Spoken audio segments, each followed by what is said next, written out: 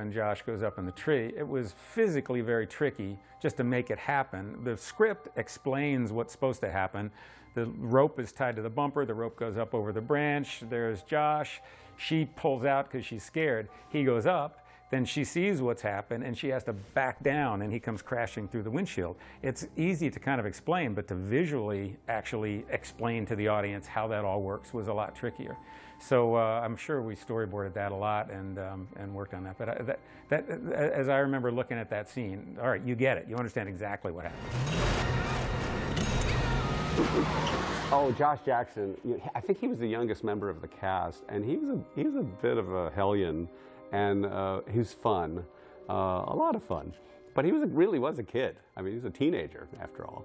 And uh, we did that amazing shot of him being yanked up, you know, on the noose in the tree. And that was a Technocrane shot chasing him up. It was really, that's a great shot.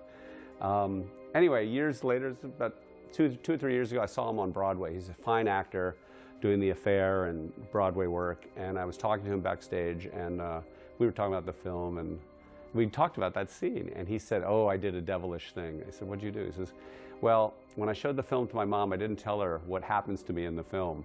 And so she nearly flipped out seeing her son strangled. You know? I said, That's cruel, Josh. Don't, don't do that to your mom. I mean, if, if you get strangled in a movie, warn your parents that that's going to happen. Top of the world, top of the huh?